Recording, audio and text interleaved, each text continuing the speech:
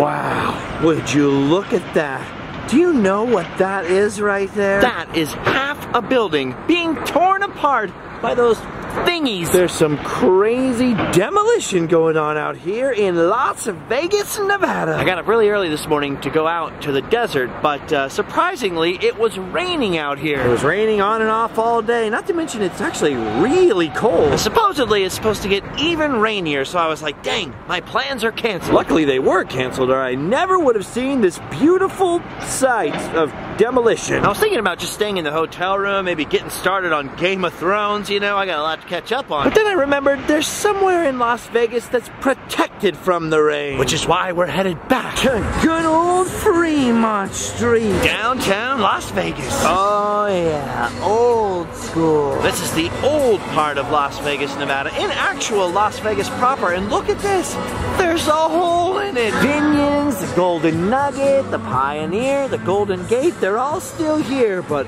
look at that. There's a hole. Poor Vegas Vic is all alone up there now. His girlfriend at the Glitter Gulch is gone. I had no idea about this. They basically tore out a whole city block. Some of the oldest buildings in town. Apparently they're gonna build a massive, entire block, large resort down here. Which will be good for old downtown Las Vegas. Doesn't get as much action as the strip, you know? Of course, I've always gotta come down here and take a look at the plaza. It was, after all, the inspiration for Biff Tannen's Pleasure Paradise Casino in Back to the Future Part 2. Which was a great flick. Great frickin' flick. The guy's a genius. Keep pedaling, you too. Fun fact, about six years ago or so, I stayed in here with my band when we were setting out on a tour until we found out the label owner lied and didn't have any money and the tour was canceled. But bad times turned into good times because the next year I quit my band and here we are together. I love this corner of Fremont Street here because of the good old Golden Gate. You can actually see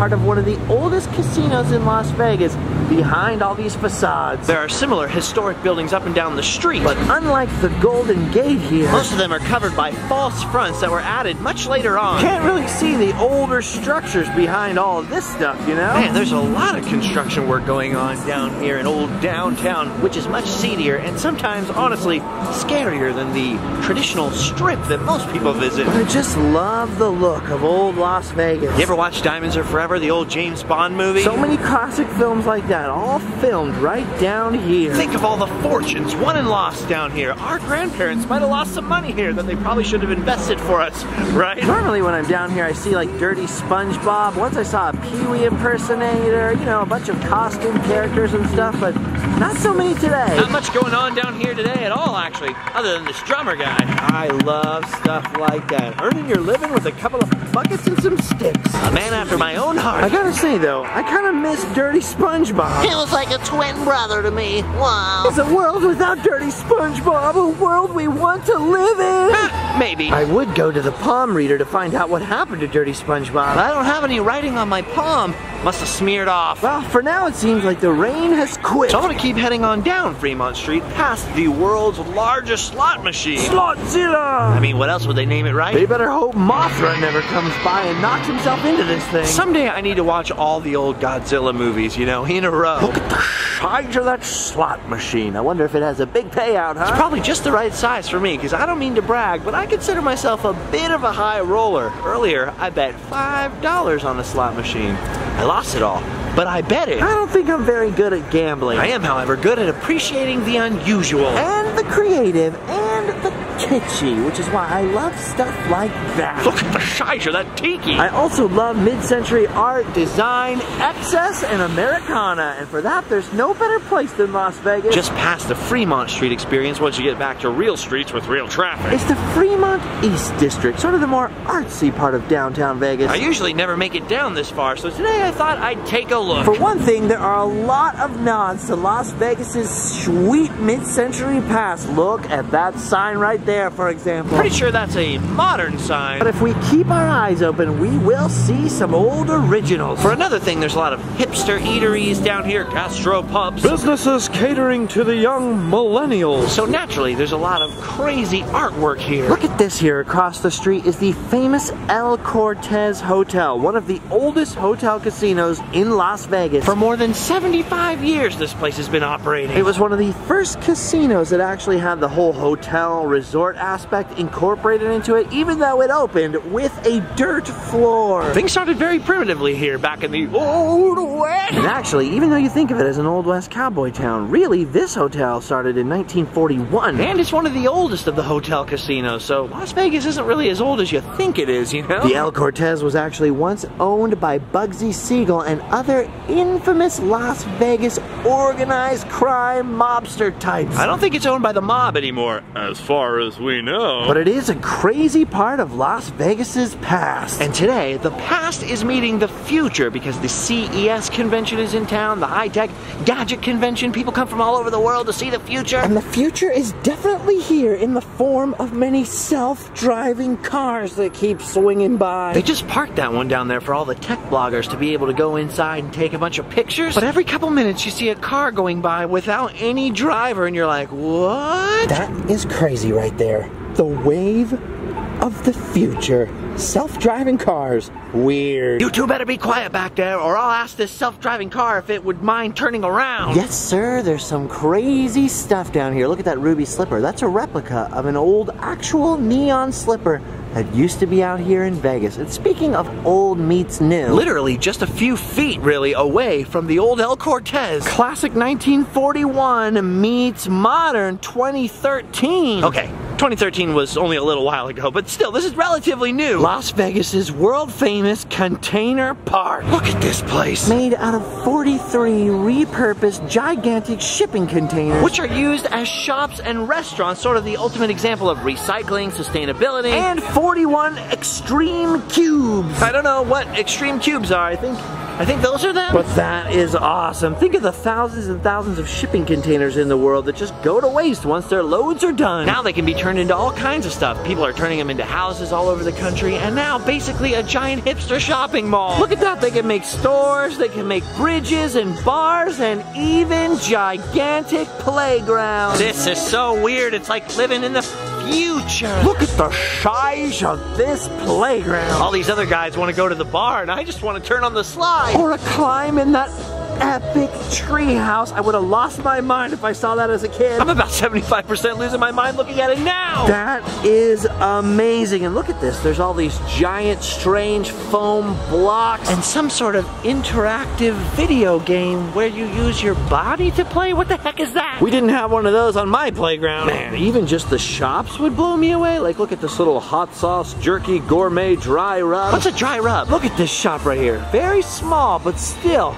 pretty dang impressive. Oh, also a very impressive futuristic pigeon. Tell me of your people. Look at this. I just got a free ticket to ride Triple A's self-driving shuttle. What the heck? It looks like I'm about to be part of the future too. Hold that thought, Container Park. We'll be right back. Oh my gosh. Climbing aboard the self-driving shuttle. 12 miles an hour top speed. 12 But, uh, miles an that's, that's hour. about Weird. I'm sitting in the future. We still have seatbelts in the future. Nobody else wants to hop on board. They're afraid of progress. AAA sponsored autonomous vehicle.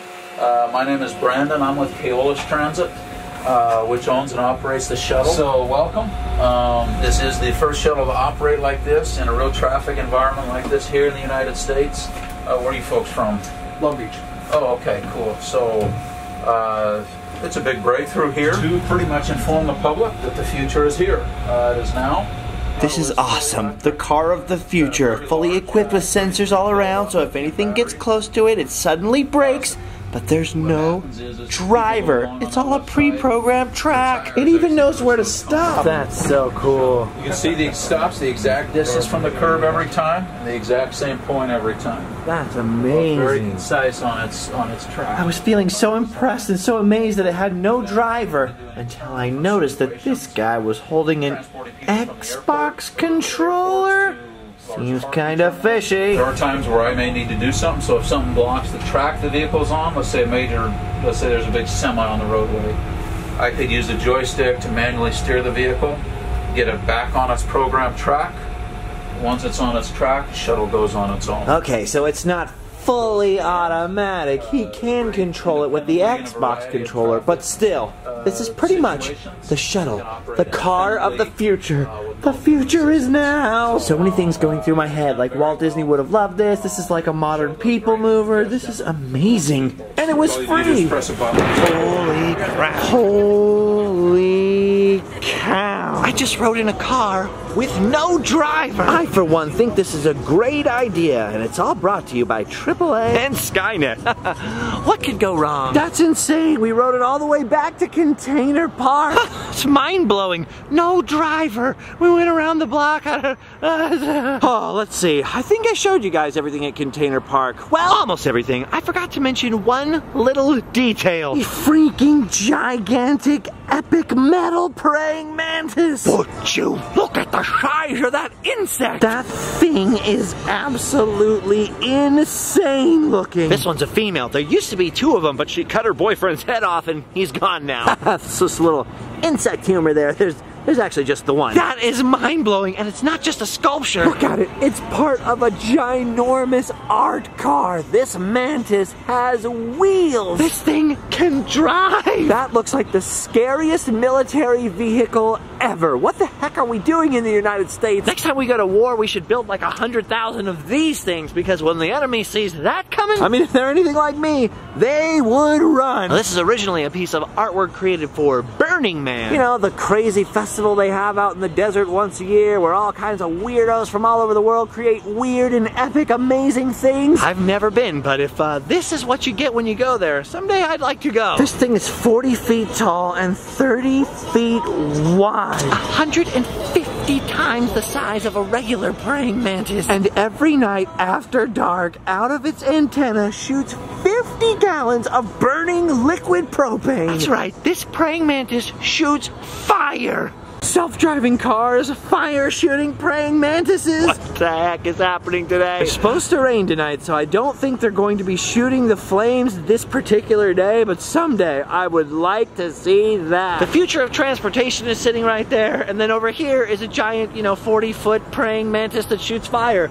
I'm actually more interested in this than this. So it's a good thing that even though the neighborhood may be a little sketchier going this way, There's supposedly even more wacky art. Look at this old gas station here converted into a work of art. Last chance it says, and oh, I've seen some last chance gas stations like this in my time. Actually, the ones in the middle of nowhere have less sketchy people around them than the one over here, but it's fine. This would be pretty epic all by itself, but it looks like somebody didn't quite make it to the gas station. Look at this crazy green bus. Or more importantly, look at the side of it. Look at those. They're gigantic meerkats. Made of refuse. There's a lot of recycling going on down here. Would you look at the size of that artwork? Those are the biggest meerkats I've ever seen. Wait a minute. I thought this was something special. Turns out it's just a mere cat. Wah, wah, wah. I don't think that's very funny. Okay, that is pretty cool. Giant bus sculpture. Strange recycled last chance gas station art installation. Complete with futuristic Christmas tree inside. Just a few feet away from a self-driving shuttle. An epic fire shooting giant metal praying mantis. I thought it was gonna do it for a second. shopping mall made out of shipping containers that includes a wedding chapel up there. I was gonna show it to you, but they asked me to leave because of using the camera. They don't like the camera. Vegas can be surprisingly camera unfriendly, believe me. Ooh, some love lock artwork I forgot to show you. That's a nice thing to think about, huh? Love? There's just so many crazy futuristic things happening out here within a few feet of some very historic things. You just never know what you're gonna get down here. I don't want to sugarcoat it too much. I mean, downtown Las Vegas, especially east of the Fremont Street uh, experience over here, can be kind of sketchy, and some of the things you can see down here can be quite not depressing. But every day we all make the choice whether to look at the world with our cynical eye or whether to look through the eyes of wonder. And I choose the wonder. Because as much as this can be a symbol of like, you know, some sad things, gambling and, you know, sketchiness over here, can also be a symbol of creativity, rebirth, lots of new ideas. creative thinking like this Swanmobile here, which I believe was also another Burning Man vehicle. I love art cars. That is awesome. Keep an open mind and choose to get excited about things. And places like this can be really exciting for more than just alcohol and slot machines. You know what I mean? Okay, it's starting to drip rain on me now. So I think it's time to go. Just one more quick stop at the Epic Toy Shack. Another one of those favorite toy shops of mine in Vegas. We've been here before, so it's just a quick look for me. If you even can look quickly, which is difficult. How could anyone choose in this place? Look at all this stuff. I want all of it. all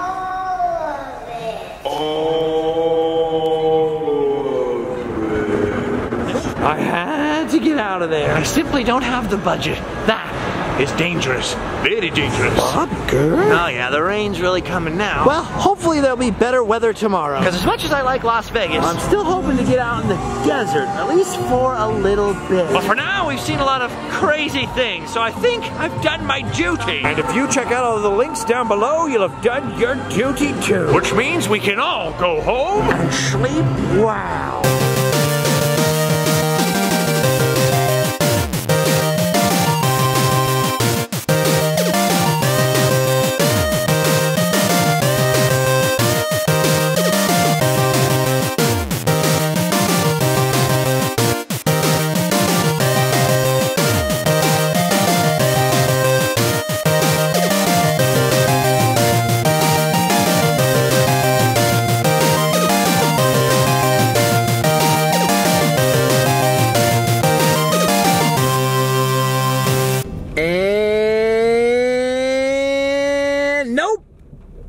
Still not shooting fire. Dang it.